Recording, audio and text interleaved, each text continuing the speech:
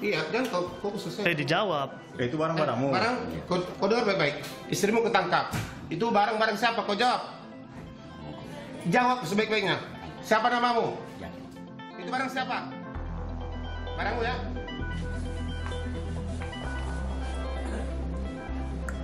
Senin kemarin, personel kepolisian resort kota Medan, Sumatera Utara tangkap dua bandar sabu yang menjadi salah satu bandar narkoba terbesar di kota Medan. Diketahui keduanya adalah pasangan suami istri. Keduanya ditangkap di lokasi persembunyiannya di Jakarta. Bandar ini kerap memasok sabu keempat ke wilayah di kota Medan, yakni Jalan Mangkubumi, Kampung Sejahtera, Jalan Masjid Taufik, dan kawasan Polonia. Polisi telah menargetkan keduanya sejak beberapa bulan belakangan. Dan kita kejar dia melarikan diri ke Aceh ke Batam dia mau lari ke Malaysia. Tapi kita sudah lakukan pencekalan itu ya. Kemudian dia lari ke Jakarta kita tangkap di Jakarta kemudian kita bawa ke sini.